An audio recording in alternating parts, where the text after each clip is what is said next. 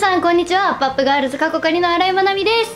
はいちょっと今日声ガサガサなんですけどごめんなさい。ちょっと 乾燥した部屋で寝てしまったのでちょっとこんな声なんですけど、まあ、頑張って実況していきたいと思います。ということで前回の動画からあの皆さんたくさんコメントありがとうございました。このゲームやってほしいとかいっぱいあの参考にさせていただきます。まずはあのスマホアプリの方の実況をやっていきたいなと思います。ではまずはもうね出てるんですけどモンスターストライクの方をやっていきたいと思います。4周年ということで4周年おめでとうございます。ということで今回やるのがこちら。4周年爆絶感謝ガチャですね。星6確定のスペシャルガチャということで。えー、何にしようかなって思ってて。排出対象キャラクターがベートーベンそしてグネビア。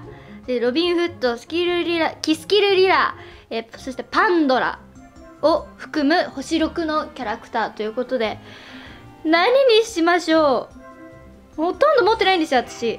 この間ベートーベン弾いてでつい最近はこの子サタンを弾いたんですけどまだ全然強くしている途中でねえなぜかノアが2体いるっていうぐらいであとウリエルがいてって感じですかね。何がいいの？まあバランス的には光属性がもうちょっと欲しいかななんて思いつつただパンドラ欲しいよな。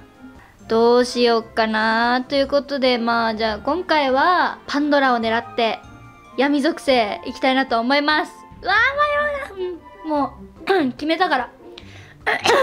決めたから。はい。こんな声で何をやってんだはい。あー頼む。パンドラじゃない可能性もあるんだもんね。いきます。あー頑張ってね。ちょっともうここスクショしとこう。はいスクショ。なんでだよ。じゃあ行きたいと思います。確定演出があんのかなこれ。4周年おめでとうございます。なになになにあそっかこういうタイプか。何？あルシファーえ？うん？お？あー。いいルシファーが出た。ハーレーも出た。オセロに。アレス。うわレスいいね。ケット C これは新しい方なのかな？えー、どれにする？どれにする？だってルシファーって強いじゃん。ルシファーよく使わせてもらってるんですけど友達のキャラクターで。ハレハレにしちゃう？ハレなの？ハレにしちゃうの？うーん。ルシファーにしよう。可愛いから。そんな理由で選ぶ。当にこのキャラでよろしいですか？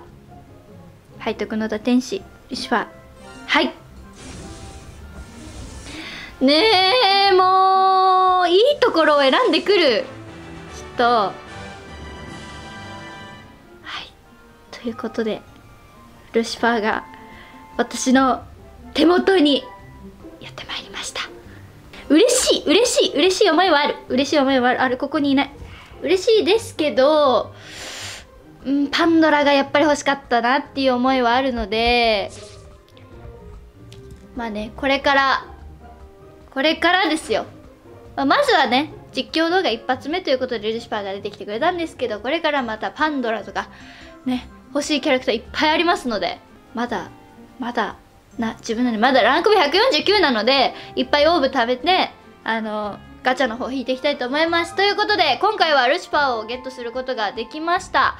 え今後も皆さん何かアドバイス等あればあのダメ出しなりなんなりお待ちしております。そして参考にさせてください。ということで以上新井まなみでした。バイバーイ。